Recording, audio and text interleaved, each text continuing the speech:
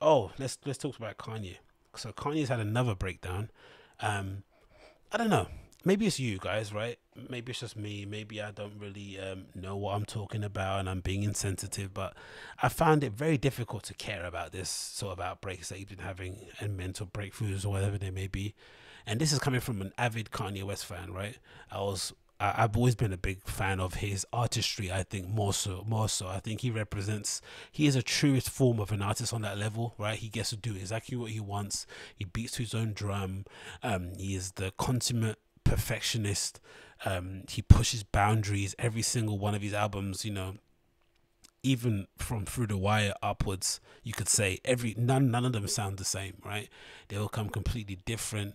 Um, he kind of, you know, really blew the lid in terms of how he, you know, was able to produce and put music together in, in a collective, wasn't afraid of using writers and various producers and flying people out to, you know, recording sessions in the middle of Hawaii. Just a really eclectic and amazing dude. And don't even get me started on the fashion tip, right? So I'm I'm a big Kanye West fan. I love the guy, but these breakdowns and breakthroughs he's been having in public lately have been really disturbing on one hand, but also really kind of exhausting as a fan to kind of try and you know reconcile in your head right? That the guy that you sort of loved and championed and or was championing you and you thought you saw your, a lot of yourself in that person reflected. Again you don't know the guy but you a lot of the values that you have about creativity and design and music and career and family value whatever it may be right it's reflected in the sky and then suddenly I guess you get older, they get older, they grow up and they get into other things, their economical their economical earning power changes they get everything they complained about in life it suddenly comes to them right? It suddenly that person changes. And i guess you could maybe relate it similar to what people go through with their favorite YouTubers, right? When you're following a little vlogger, like an Emma Chamberlain went through this, right? Where people were following her and she was like this weird, quirky girl that had a, you know, a wicked sense of humor that people tend to like. And then she, you know, she gets successful, she becomes a big star on YouTube, and then suddenly, you know, that kind of girl next door personality that she had doesn't necessarily look as authentic because she's now wearing a Gucci shirt. She's now got a background with an amazing, you know, um, what do you call it? Uh, an invisible staircase leading up to a massive bedroom, right? She's got a G wagon. She wears a Rolex. I don't know. It kind of, it immediately sort of like fucks with your head. But you just have to accept that, you know, if that's the person that you fell in love with as a fan of that person, you're going to have to accept that they grow up and they evolve into a different person.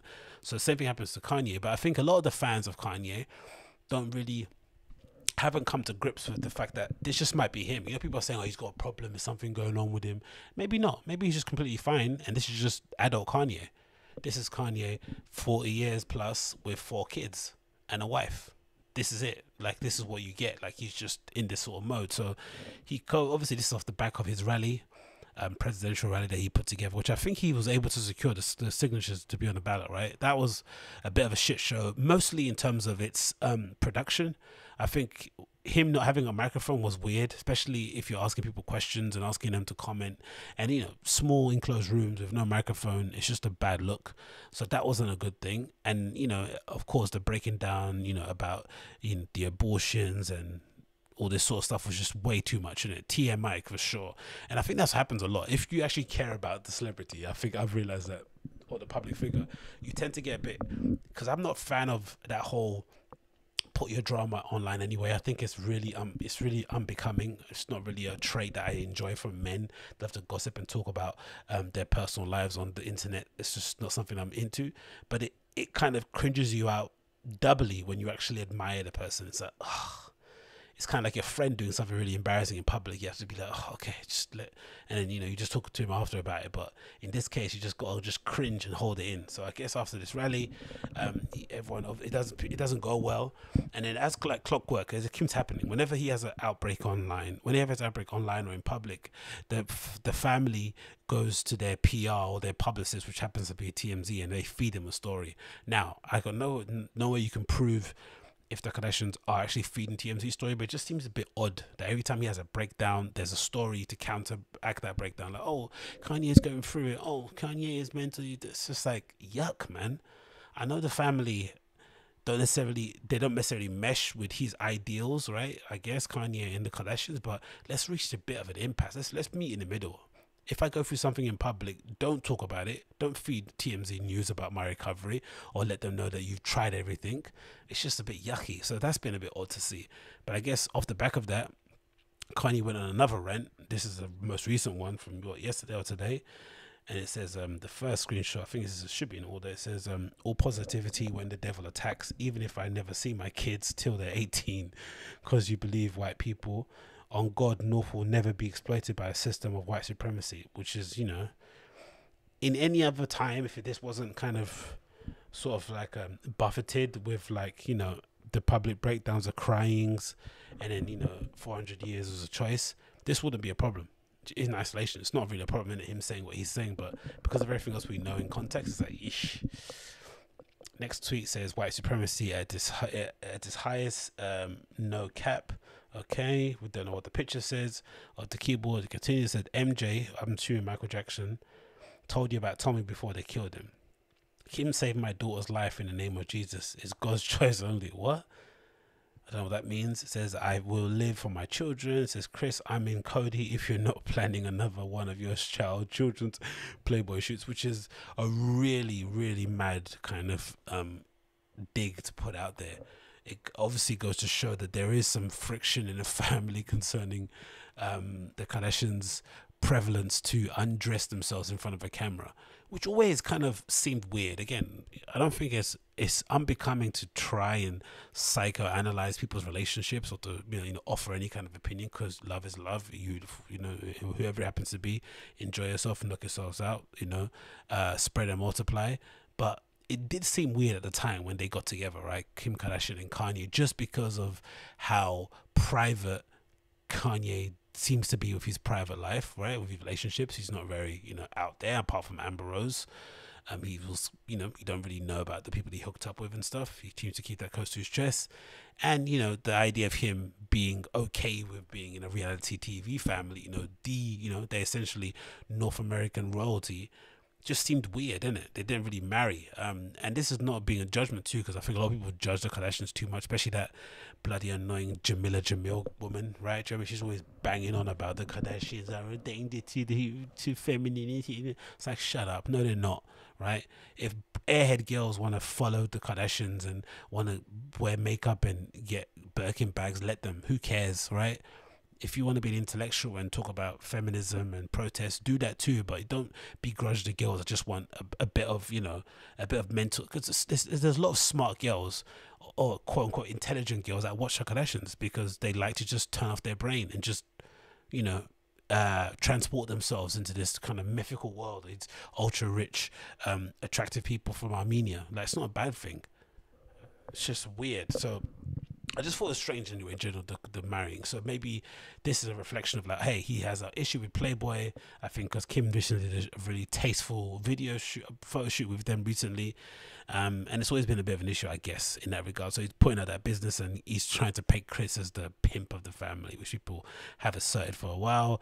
Another one come and come and get me. We have another one about him talking about Larsa. I'm not sure if that's Larsa Pippen, um, Scottie Pippen's ex-wife who I remember seeing an art. Yeah, I think he probably is because I remember I, I, do remember seeing an article that featured. Uh, where can I find it? There was an article about. Let me see if I can see it.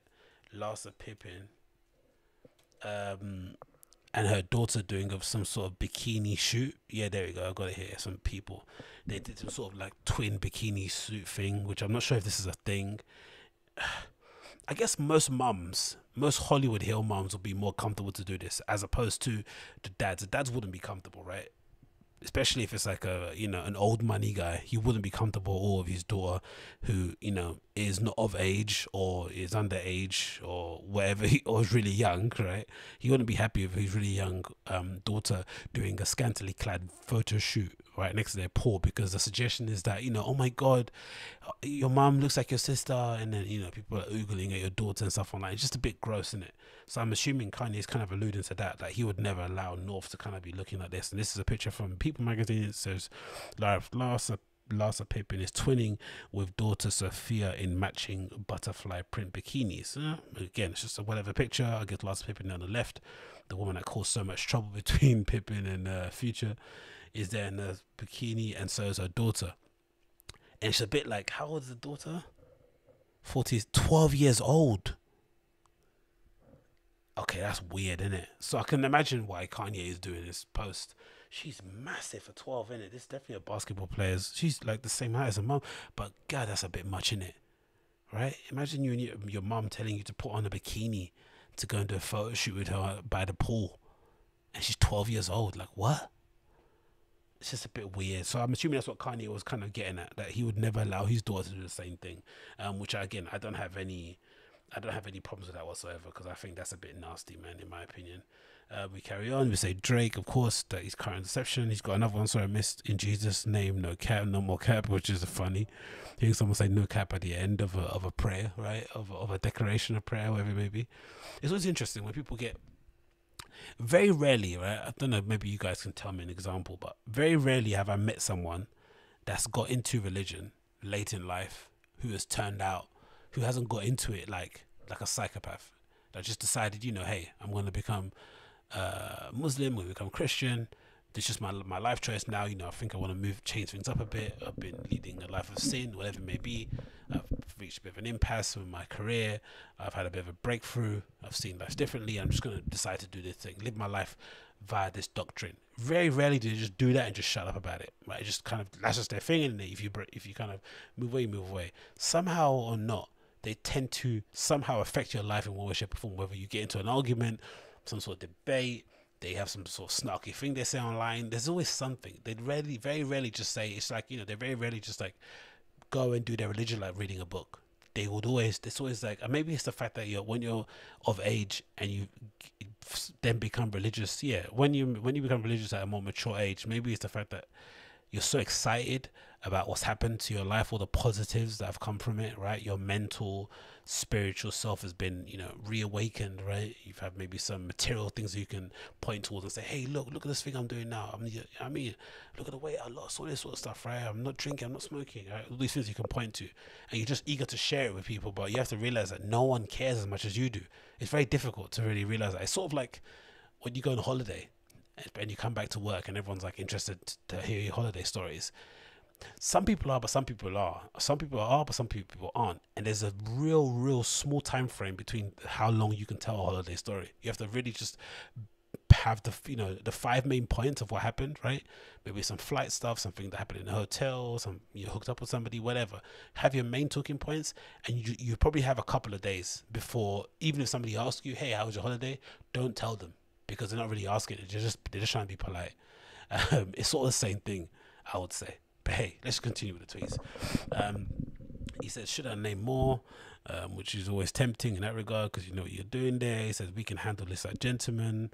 He quotes his own tweet and takes a picture of it, which I don't know why he did that, but he continues. He says, here, he says, they tried to fly in with two doctors to 5150 me, which I'm assuming is that thing that happens where if you are a danger to yourself, they essentially come with a straitjacket and take you off to a, a medical medical facility. Is it a medical facility or is it a physician? Don't know, whatever maybe. You go to the crazy house. So that so they, so now we get into insight into maybe they are offering some assistance. And it continues, his family anyway. I've been trying to get a divorce since Kim went met with Meek in the Waldorf for prison reform, quote unquote. Eek. So what he's suggesting that Kim has um, had an affair with Meek Mill. That's random. It could be true, but that's random as hell, isn't it? We haven't heard anything about them two, but maybe this explains why he took a little unnecessary dig at Meek Mill when he was having a conversation with Sway, not Sway, uh, with Big Boy. Remember when he was in the studio, in his studio for Yeezy, and he said something about how can you be talking about guns and all this sort of stuff, but you're trying to fight for prison reform when you just got out of prison for, I don't know, or something like that. I remember. Um, bloody hell. He said, continues and says, I got 200 more to go. What does that mean? That Kim's been cheating on him with 200 people, or he's got 200 more people to air out?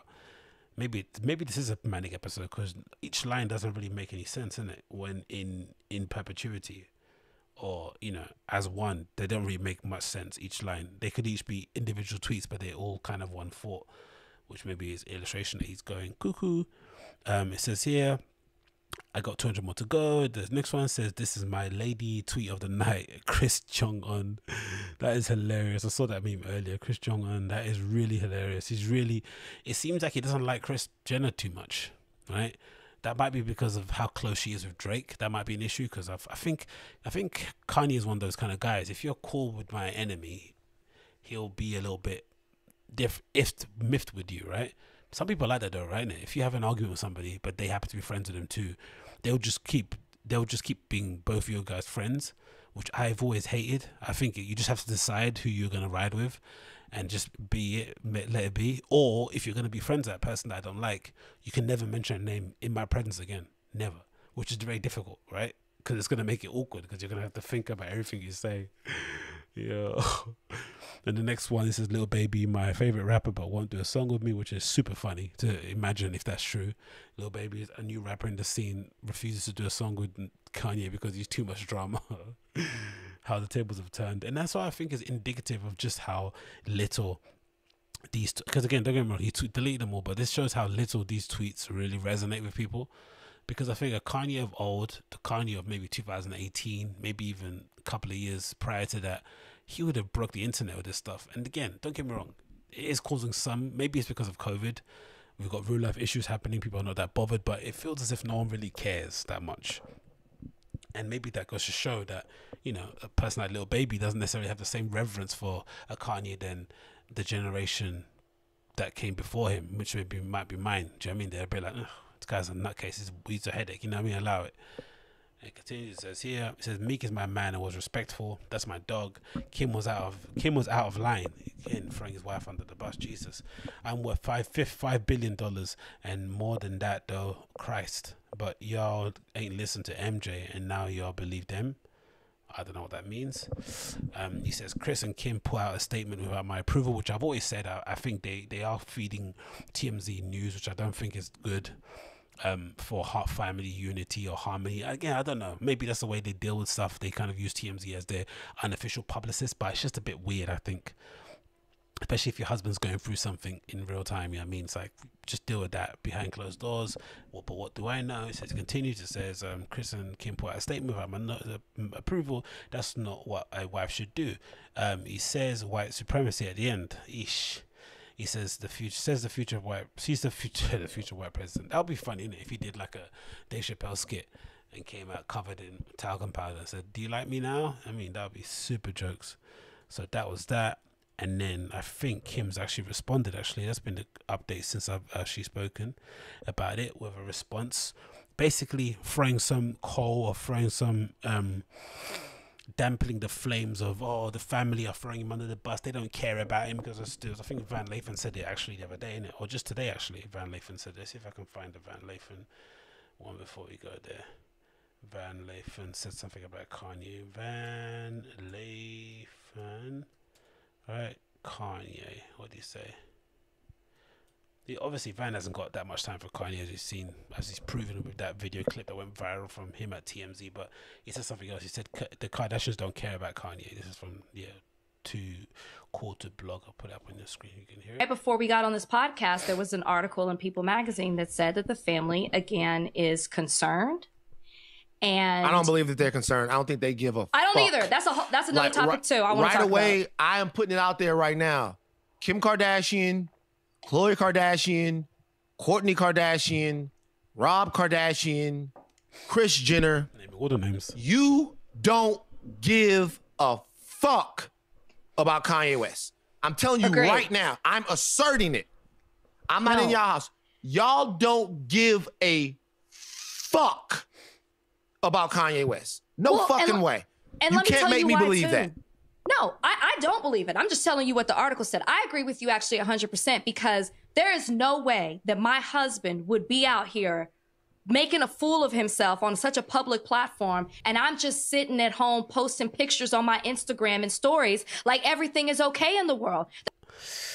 That's the bit that gets annoyed me a little bit. I think there is a bit of that kind of like, oh, if you only married a black woman thing going on, which I don't really get. Um, I don't know. It's just strange um, to suggest that somehow a black woman would have him under control. Kanye's acting out, and he's obviously acting out maybe because his brain's broken, maybe because he's actually going through stuff, like just in turn of growing up as a person, as an adult, coming, you know, coming to accept his position in society, and wealth does a weird thing to you too. I'd imagine, especially when you amass when you amass the kind of wealth he's has in a short period of time, right? When you become a self-made billionaire, it must do something to your head um, as well. It must not be the most healthiest thing. Having corporate sponsorships kind of pull you and pushing you in different directions. A really young family, all of a sudden out of nowhere, he had one kid, had no kids, and suddenly he's got four. Um, that must be a real headache to deal with, and he might be genuinely suffering from some kind of mental disease or illness that we have no idea about that's not for us to try and figure out but from what we know we know he's been clinically diagnosed with bipolar so that isn't a fun time i'd imagine right? Having to deal with that in a public eye. But to just that a black woman's going to hold him down is come on that's insane. Like what what does that even mean? He could just be an adult refusing to get help. Um, I don't think it's indicative, and again, maybe that's why we put too much. We put too much onus on that if somebody's tweeting or saying something else online, that means they're not thinking about the issue. Maybe they are. Maybe to get out of thinking about it too much, and because you're living it every single day, because that person's your husband uh, and the father of your children, you just want to post a picture just to kind of let off some steam. I don't know. It's the new world, and people do that all the time. Do you think because I don't know? People think as if like a family member of yours dies, God forbid, or something that you're not going to be on your smartphone liking pictures or going through Twitter. You're still going to be doing that. Doesn't mean you're not thinking about the person that just passed away it just is part of entertainment. I don't know. It's a weird reaction to have, but I guess that my assumption of that was kind of confirmed a little bit because of the response that Kim put out there. She wrote a statement regarding the whole issue, which I thought was a fairly well balanced, if not a bit, you know, it's a bit. It was a, in my opinion, it's unnecessary, right, to do that. But I think how they operate as a family and how they operate as a brand, they just have to be mindful of how they're perceived in public. They can't have people looking at them a certain way. I understand, and just in general, they've lived their lives entirely on social media. It would only be right to kind of you know correct or address what's actually going on with their family, especially in this such a public way. You know, this is the main, this is the big deal. You know, the the man in the house is acting out on social, going through what we suppose might be a mental breakdown. You have to say something, you know. I guess so. This is a statement that um, Kim put out there. I think via Instagram stories that someone posted on Twitter. I'll read for you guys. It says, as many of you know. Kanye has a bipolar disorder. Anyone who has this has a love or has a loved one in their life who does knows how incredibly complicated and painful it is to understand. I've never spoken publicly uh, about how this has affected us at home because I'm very protective of our children and Kanye's right to privacy when it comes to his health. So mostly to do with Kanye, I guess, and? She's not allowed to talk about this stuff in public, which I which is fine, but I don't really think she should anyway, even if given the opportunity to. I don't think it kind of serves any purpose. It's not our. Why should we have the right to have that information? You know, we're not going to do anything for him. It's like for remember when he was going through his first tweets and campaign stuff, and people online were psychoanalyzing him and being flipping um, uh, armchair psychiatrists at home. Like, just relax. You know, relax. Um, it continues here. It says uh the prior to health i said but today i feel like i should comment on it because of the stigma and misconception about their mental health interesting way to take because she could have just said i feel like i can i can comment on it because of my name's got dropped in it and my mum's name you know i can't be having that. But instead she wants people to have compassion it seems it says continues it says um, those that understand mental illness or even compulsive behavior know that the family is powerless unless the member is a minor. People who are unaware are far removed from this experience can be judgmental and not understand that the individual themselves have to engage in the process of getting help no matter how hard the family and friends try which is very true um i guess for, for me looking at it from the outside it's always interesting to see that fair enough, this is a big issue and a really serious one. But prior to this, when maybe Kanye was endorsing Trump, it was interesting to see how silent my social media feed was, especially to some of the kind of more influencer type people who are so quick to post a picture of a post-it note of that Kanye writ with their size or with the Yeezy kind of, you know, um, box or something, or saying thank you to the team for sending them a pair of shoes or a jacket. Those same people are quiet as a mouse on social concerning what Kanye goes through, which is interesting because all the praise that they do online, the ways that they show affection for each other's friends is always done on social. But the moment it comes to supporting them emotionally when they're going through through a tough time, it's all it's supposed to be done behind closed doors, which I'd never believe. Right? It's always just you know they would rather avoid that bad PR because they don't want to get that you know that Kanye stink on them.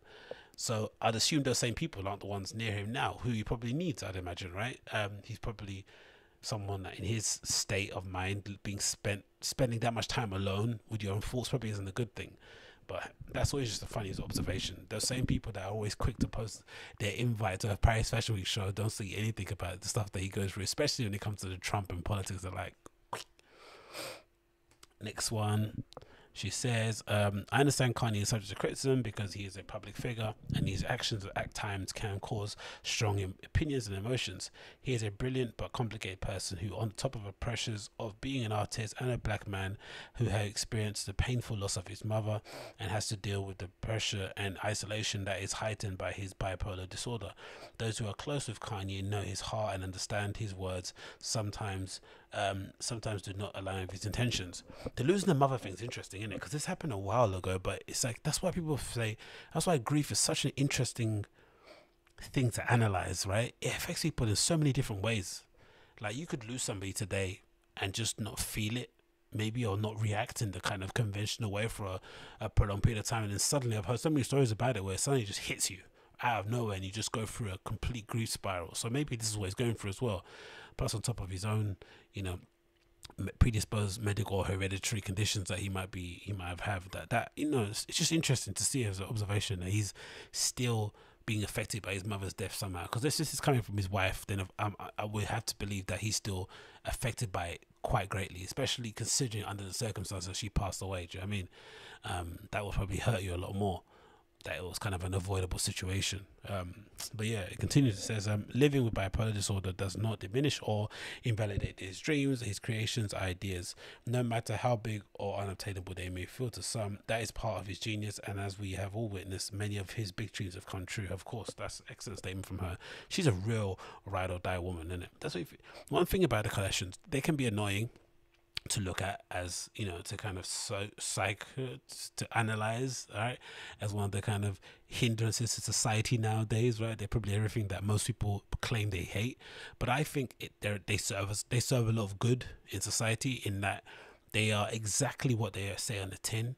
They accurately represent that vapid materialistic um, lifestyle in la or in hollywood or any kind of glitzy place that you might live in or might aspire to go to, but they also maintain this real core of family values. Everything is centered around the family.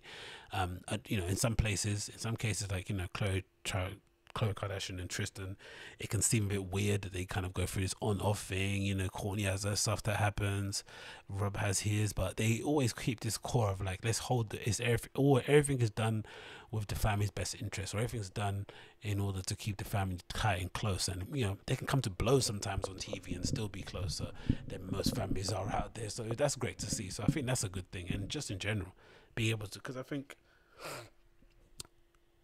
le- better women in maybe less worse conditions would have probably left by now.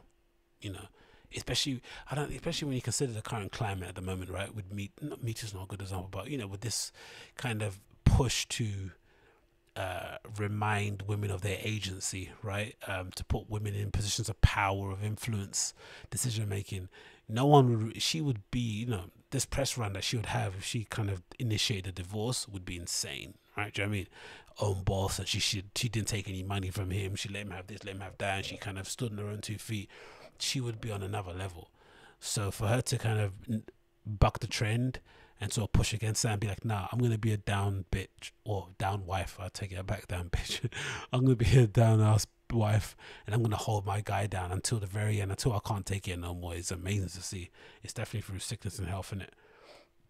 And the last one it says, we as a society talk about giving grace to the issue of mental health um, as a whole. However, we should also give it to the individuals who are living with it in these times when they need it the most. So I definitely agree with that one. Says I kindly ask that the media and the public give us the compassion and empathy that is needed so that we can get through this. Thank you for those who expressing concern, Kanye's well-being, and for your understanding with love and gratitude, Kim Kardashian West. I wonder if Jamila Jamil reached out and gave them love as well. The absolute no fun son of a bee. But um, yeah, that's a pretty nice sentiment and statement there. I don't. I think it's a bit much. You can't ask for anything with people. I think the moment. What was a good moment, Sophie? The moment I saw TMZ posting images of XXXTentacion's lifeless body, I knew, you know, that that press, that arm of the press, that paparazzi sort of media thing, that kind of let's get the news out no matter what's going on and especially remember that kid that wore that um, "Make America Great" hat in front of that um, uh, Native American person. How do you call them? Is it um, American Indian? Um, remember that person was beating a drum, and it was it came out that oh they tried to frame the story as if this kid was saying something insulting to the guy beating a drum, and it transpires that that wasn't what happened, but the news went to frame it that way. Ever since I saw that sort of stuff, I knew okay, the news, the media, they, they have no scruples, right? They have no they have no moral compass. They just want to stoke division or cause controversy or just keep the news cycle running. So it's admirable that Kim would want the news media or social media in general to be a bit more kind and to be a bit more forgiving to what they're going through. But the fact that people don't like them to begin to begin with, the fact that people don't like him to begin with too, especially post um, Trump endorsement, it's just asking for too much. It's not going to happen. No one's ever going to give them time, grace, space to heal and move. It's not going to happen. People are going to make the jokes. They're going to say what they want to say, and they're going to just have to swallow it or not. That's the bad side. So that's what makes me think that you know you really couldn't pay me enough to be a celebrity at that level. You know, of course, it's only reserved for a small amount of people. It does the tiniest amount of the population ever get a chance to become that famous because you know they're obviously outliers. The collections and and Kanye himself, he's an outlier even amongst celebs, isn't? He's like the one, the one of the one percent. But God Almighty, look what you have to deal with. You have to talk about your your your husband having a mental breakdown in public. You have to address all the nonsense concerning abortions and stuff. Imagine everyone knowing that information, especially if you're a woman. You know, something it's things that you keep quite close to your chest, or you only share with your with the person that you're, you know, that happen to get you pregnant. But for everyone to know that you've thought about abor- abortions or you've had some in the past, and for sure people are digging up information to find out if when she got the pill. It's just it's mad, man, mad, mad, mad, mad, mad. Hopefully they get through it. You know, it will be a good way to imagine if they get through it and then we get a cure. It'll be a good little you know celebration for people that care about them. But I don't know, man. It's just interesting to see from the outside, in it? That I think people just need to, for cat fans of Kanye, let's stop with the he's going crazy because maybe he is, but let's also think that this might also be his personality too. Right, there might be instances where he's going a bit nuts and saying some manic stuff. Um, he's going for an episode, of course, but I think this also might be just a glimpse into what his personality is anyway. Sedated or not, he might just be this guy um, who's a bit of a free thinker, as he says, right? And says and backs who he wants and thinks slavery was a choice and doesn't rate um, doesn't rate Harriet Tubman. oh, absolute madman, absolute madman. But yeah, let's hope he gets better in it. Let's hope he gets better.